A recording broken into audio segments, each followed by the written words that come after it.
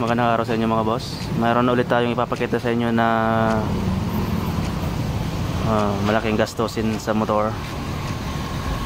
Malaking ah, malaking malaki-laking gastusin sa motor. Dahil nagkaroon ng aksidente at ah, nawasak yung buong harapan nito. So mapapansin nyo halos yung headlight niya madurog na. So, basag yung headlight niyan mga boss sa loob. Mas malaki yung damage nito kumpara dun sa GSX-R na nasa video natin nung una. Yung nasa unang video natin. Kasi ang nangyari dito mga boss ay ah, sa malpok sa motor din. Ang sabi ni customer ay XR200 Honda yung kabanggaan nito. So, kasamang palad mga boss ay naputol din yung shock. Dalawang shock sa harap. Ayan.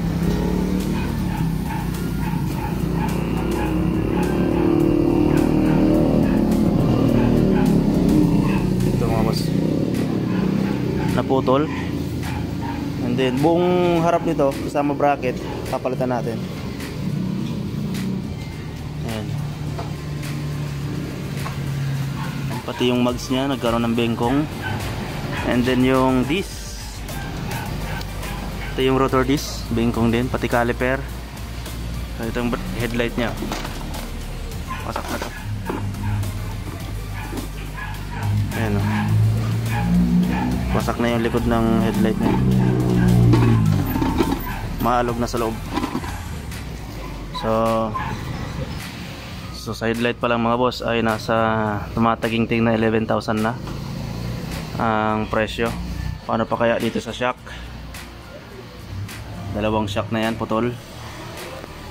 And then uh, mga kaha inner damage. Ayan. Side mirror din na damage din. Harness. Pati radiator. Nabali yung radiator niya mga boss pati tambutso putol.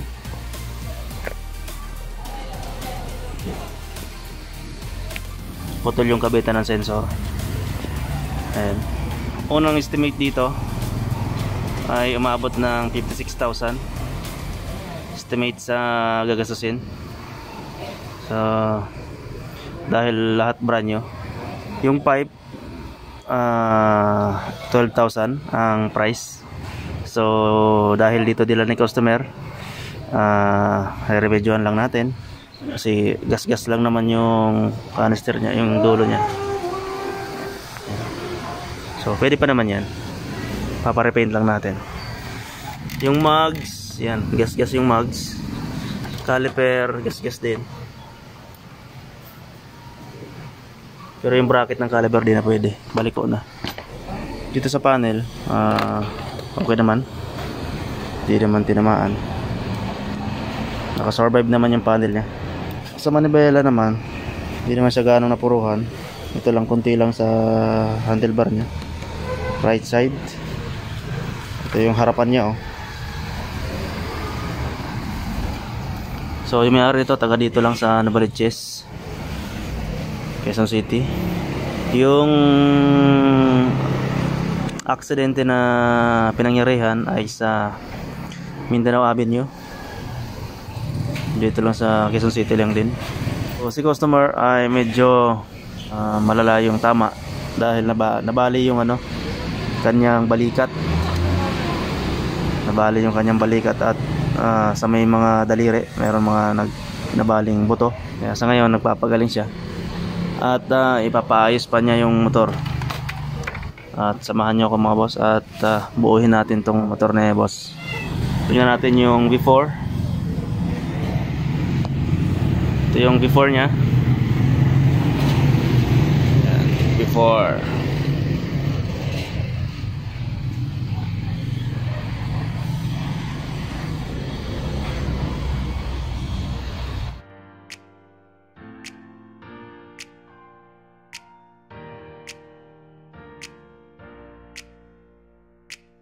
Alright mga boss uh, Ngayon pa lang nagpapasalamat ako sa lahat ng sumuporta dahil umabot tayo ng 14,000 subscriber. Maraming maraming salamat sa inyo lahat.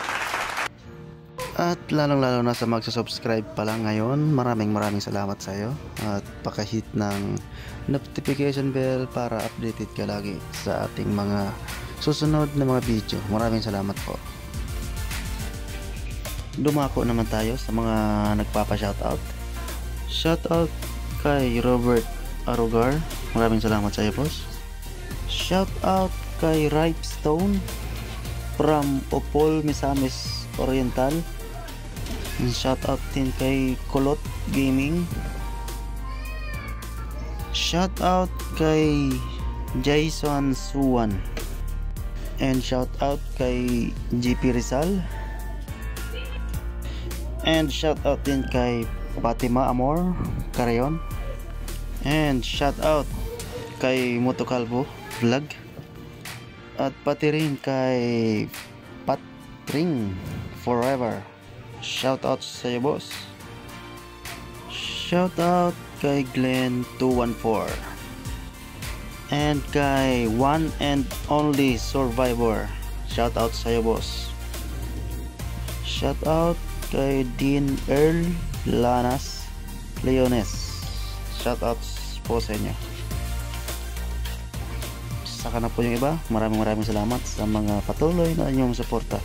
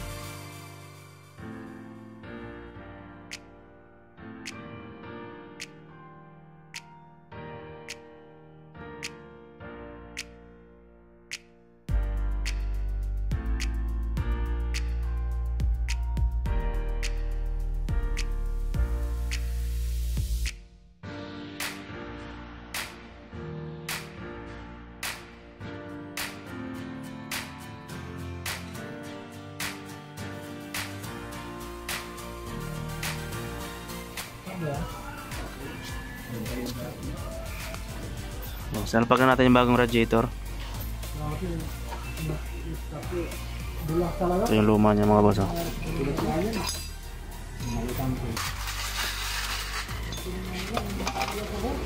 Radiator hose, pinalitan natin ng ah, Samco.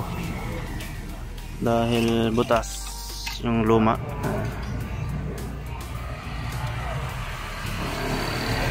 Ayan. Ulit yung luma.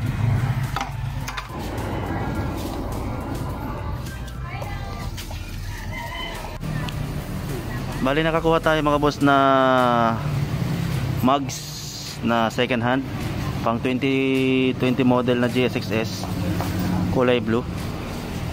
So, bali binenta sa atin to ni Sir Von Herbert. Shoutout sa iyo Sir Von Herbert.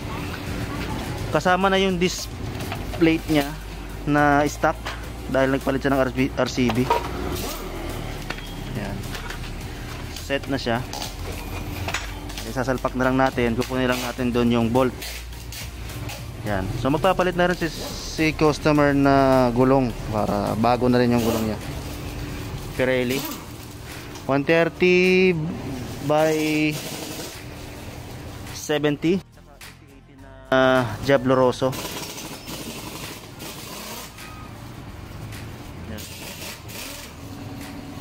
Ito yung pangharap. Yan yung palikod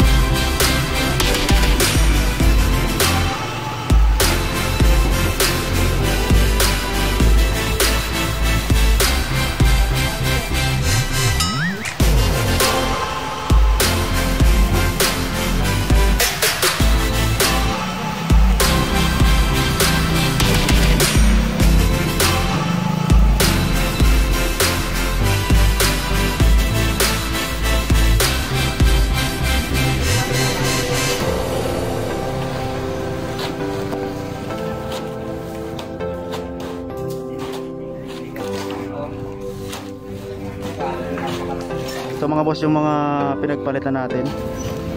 Natapos na rin natin yung ah, J6R na buuhin. So ang inyong nakikita, yan po yung lahat na pinalitan natin. So yung ibang mga parts dyan ay second hand. Kagaya ng ah, mugs, front and rear, second hand po yan at saka rotor disc yan kasama yan ng mga nabili natin kay Sir Bon Herbert. So yung mga brand nyo dyan mga boss the rest brand nyo na po yan lahat. Headlight natin mga boss wasak. Yan wasak ang loob. At saka radiator natin oh. Tipos nagpalit tayo ng tipos at saka yung shock ay naputol. Yan putol yung shock yung bracket ng cowling. Ayan. Putol din. Tsaka yung mga kaha nya tsaka yung brace ng meter. Ayan. Tsaka nagpalit na rin tayo ng gulong mga boss dahil ah, nipis na rin. Ayan. Jabloroso Pirelli. So stock lang yung gulong natin 130 by 70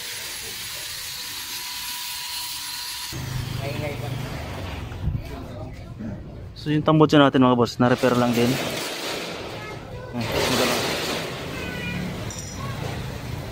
So nakikita labasan natin ngayon Ito na yung bagong headlight natin Yan yung bagong headlight natin oh.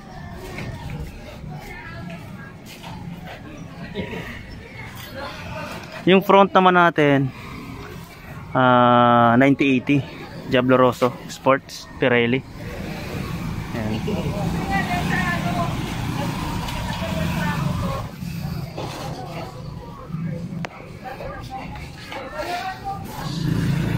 Yan, nagpalit na rin tayo ng ah, signal light na maliit. So nagpalit na rin tayo ng bagong battery dahil nalubat matagal siyang na-stock. So mga boss, hanggang dito na lang yung video natin. Maraming salamat sa inyong panonood.